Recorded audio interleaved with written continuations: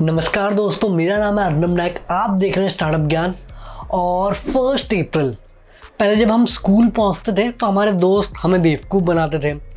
आजकल जब हम सुबह उठते हैं सोशल मीडिया में ऐसे चमत्कार वाले इनोवेशंस देखते हैं कि हमको लगता है कि हम 2050 में तो नहीं उठ गए हैं। पर फिर कैलेंडर हमको याद दिलाता है कि ना मुन्ना, ना, आज फ़र्स्ट अप्रैल है। तो इस बार भी ब्रांड्स ने कई ज़बरदस्त प्रैंक्स खेले हैं कुछ तो ऐसे इनोवेशन हैं, वो लगता है कि यार काश ये सच हो जाते।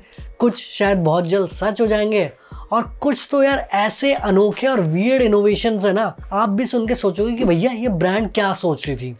तो ये सब हम डिस्कस करेंगे डिटेल में वीडियो को आखिर तक देखना। और हम जल्दी से वीडियो शुरू करते हैं।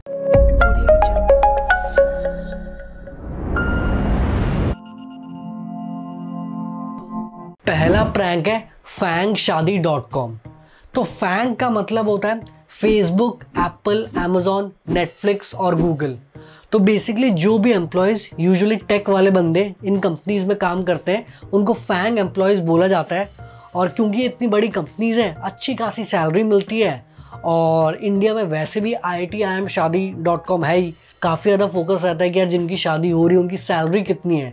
तो फैंग शादी ऊपर से देखोगे तो यार काफ़ी सही आइडिया है। और चल भी सकता है। वैसे मेरे हिसाब से सरकारी नौकरी शादी डॉट कॉम और बेहतर चलेगा। बट अगर आप इनकी वेबसाइट देखते ना, काफ़ी रियलिस्टिक लग रही है। बोल रहे हैं कि यार भैया, कौन से कंपनी में काम करते हो? क्या आपका सीटीसी है? क्या आपका कोडिंग लेवल है? सब कुछ हम चेक करके डेटा एनालिटिक्स यूज़ करके हम पर्सनलाइज मैचेस करवाते हैं। और फिर खबर आई कि यार फैंग शादी डॉट कॉम को स्कैलर अकेडमी ने खरीद लिया है, जो कि बच्चों को कोडिंग सिखाता है। और उनका कहना था कि यार हम सिर्फ़ बच्चों का करियर नहीं बल्कि लाइफ भी बनाने में मदद करेंगे। बट जैसे ही आप वेबसाइट के नीचे जाते हो और डिस्क्लेमर में क्लिक करते हो तो आपको समझ आ जाता है कि भैया ये तो बिल्कुल अप्रैल फूल प्रैंक है। It was at this moment that he knew he fucked up. या फिर अगर आप इनका फॉर्म भरोगे तब भी वो स्कैलर अकेडमी में ही आपको लेके जाएगा।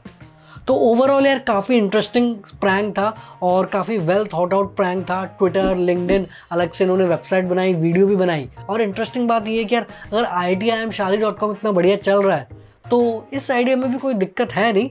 वैसे आपको क्या लगता है, क्या सरकारी नौकरी शादी डॉट कॉम चलेगा इंडिया में? कमेंट्स में अपने ओपिनियंस ज़रूर बताना। नेक्स्ट प्रैंक है कि यार, जब फ्लिपकार्ट ने अनाउंस किया कि यार वो bitcoin as a mode of payment accept करने वाले हैं। तो भैया ये तो देख के समझ आ गया था कि यार ये तो अप्रैल फूल का प्रैंक बना रहे हैं। क्योंकि यार इनके बिग बिलियन डेल में हमें सही से इनके सस्ते मोबाइल नहीं मिलते और बिटकॉइन जिसका प्राइस वैसे ही इतना ऊपर नीचे हो सकता है इंडिया में तो यार फ्लिपकार्ट इतनी आसानी से एक्सेप्ट नहीं करेगा। इंटरेस्टिंग पोस्ट था, अच्छी खासी रीच मिल गई, सब खुश हुए कि यार चाहे प्रैंक ही सही एटलीस्ट बिटकॉइन को कोई तो इंडिया में एक्सेप्ट करने का सोच रहा है। अगला जो प्रैंक था, वो थोड़ा यार दुख हुआ देख के, क्योंकि फोक्स जो कि दुनिया की one of the biggest car companies है, उन्होंने कुछ दिन पहले बोला कि यार हम अपना नाम वोल्ट्स वैगन करने वाले हैं। उन्होंने देखा होगा कि यार टेस्ला कितनी बड़ी कंपनी बन गई है और उनको भी लगा होगा कि यार इलेक्ट्रिक इज़ द फ्यूचर तो शायद इसीलिए वो नाम चेंज कर रहे हैं।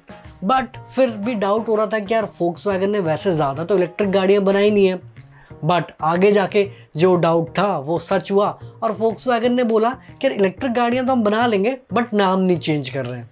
तो होपफुली यार नाम ना चेंज करें, वो तो चलता है बट इलेक्ट्रिक गाड़ियाँ पे फोकस करें ताकि और ज़्यादा कंपटीशन बढ़े और होपफुली कंज्यूमर्स को भी और ज़्यादा इलेक्ट्रिक गाड़ियों के अच्छे ऑप्शंस मिले। अगला प्रैंक तो यार सही में एक क्रेजी प्रैंक है, क्योंकि ओला ने बोला कि यार वो एयर प्रो लॉन्च कर रहे हैं। तो मैंने सोचा कि यार अभी तो वो बोल रहे थे कि यार इलेक्ट्रिक स्कूटर लॉन्च करने वाले हैं। तो ये कहाँ से नई चीज़ बना दी कि जो रास्ते में भी चलेगी और हवा में भी उड़ेगी? तो इसका अगर आप वीडियो देखेंगे ना भावेश अग्रवाल तो ऐसे बात कर रहे हैं जैसे सही में यार वो एक इलेक्ट्रिक स्कूटर लॉन्च कर रहे हैं। बट जैसे ही आप इनका वेबसाइट खोलेंगे और देखेंगे कि भैया इसका रेंज अनलिमिटेड है चार्जिंग करने की कोई ज़रूरत नहीं है 350 किलोमीटर पर आवर की स्पीड पे चलेगा आप समझ जाओगे कि भैया सही में धोखा हो गया हमारे साथ। गजब बेइज्जती है। बीच में वैसे लिथियम आयन बैटरी की जगह इन्होंने इथीरियम आयन बैटरी भी लिख दिया। तो काफ़ी सही मज़ाक किया है। और एक्चुअल में ई प्लेन कंपनी ने तो बोला है कि भैया, ये जो ओला एयर प्रो बोल रहा है एज अ प्रैंक वही तो हम बनाने की कोशिश कर रहे हैं। तो होपफुली यार, अगर ऐसे इलेक्ट्रिक एयर ट्रांसपोर्ट व्हीकल्स आ जाएँ तो सही में यार ट्रांसपोर्ट इंडस्ट्री तो यार रेवोल्यूशनाइज हो जाएगी। अर्बन कंपनी ने भी मस्त प्रैंक खेला और उन्होंने बोला कि यार, वो alarm at home service provide करने वाले हैं। तो यार ये तो चीज़ काफ़ी लोगों को ज़रूरत है, क्योंकि सुबह सब बस अलार्म को स्नूज पे स्नूज दबाए जाते हैं और उसके बाद अपना डेडलाइन मिस कर देते हैं। बट अर्बन कंपनी ने बोला कि भैया हम प्रोफेशनल बंदे भेजेंगे, जिनका मिशन तभी अकम्प्लिश होगा जब आप उठोगे। तो काफ़ी लोगों को ये काम आ सकती है और एक्चुअल में इन्होंने ट्विटर पे इसका एक छोटा सा वीडियो भी शेयर किया है। इक्सिगो ने भी मस्त प्रैंक खेला जब उन्होंने अपना स्मार्ट सीट लॉन्च किया फ़र्स्ट अप्रैल को। तो जैसा कि आपको पता है कि यार एयरप्लेन में जब हम जाते हैं, काफ़ी बार टर्बुलेंस होती है। और उनका कहना है कि यार, काफ़ी फ्लायर्स इससे डर जाते हैं। तो इन्होंने एक ऐसा फोम सीट बनाया है, जिससे कि आपको ये टर्बुलेंस महसूस नहीं होगा और इसको आप आराम से चार्ज कर सकते हो, जो कि 20 घंटा तक चलेगा। और हाँ यार, वही नासा वाली टेक्नोलॉजी यूज़ करिए और आपको क्या लगता है कि क्या ये एक यूजफुल प्रोडक्ट होगा? कमेंट्स में ज़रूर बताना। अगला जो प्रैंक है ना, उसको तो यार लोगों ने सही में सीरियसली सच मान लिया। तो केवेंटर्स ने कुछ दिनों पहले से, जब से होली का लॉन्ग वीकेंड आया, तब से उन्होंने बोला कि यार हम bhang flavoured milk shake launch कर रहे हैं। और उसके बाद यार उनका सोशल मीडिया रीच तो काफ़ी ज़्यादा बढ़ गया। बट एक्चुअली में हज़ारों लोगों ने उनको फ़ोन करके पूछा कि भैया ये जो भाँग फ्लेवर्ड मिल्क शेक है, कब आ रहा है और कितने का आ रहा है, कब हम ऑर्डर कर सकते हैं? फिर केवेंटर्स वालों को भी बोलना पड़ा कि भैया फ़र्स्ट अप्रैल आ रहा है, थोड़ा हम भी मज़ाक कर रहे थे। वैसे आइडिया में तो काफ़ी पोटेंशियल है। वो अलग बात है कि शायद ये लीगली ना हो। तो ये तो थे यार सात सबसे ज़्यादा पॉपुलर प्रैंक्स पर इसके अलावा भी और भी कई सारे प्रैंक्स हुए हैं, जैसे कि जो बिदेन जो कि अभी यूएस के प्रेसिडेंट हैं, उनकी वाइफ जिल बिदेन ने भी जब फ़्लाइट से आ रही थी, उन्होंने प्रैंक किया जब वो फ़्लाइट अटेंडेंट बन गई बीच में। इसके अलावा कई सारे मोबाइल ब्रांड्स जैसे कि पोको उन्होंने बोला कि यार हम अपना energy drink Poco Loco launch कर रहे हैं। वन प्लस ने बोला कि यार हम 360 डिग्री स्क्रीन लॉन्च कर रहे हैं, जिसका नाम है वन प्लस ओमनी इसके अलावा एसर ने तो बोला कि यार हमने एक स्मार्ट स्पीकर लॉन्च किया है, जो कि आपका जो पेट कुत्ता जो भी भौंक रहा है, उसको ट्रांसलेट करेगा।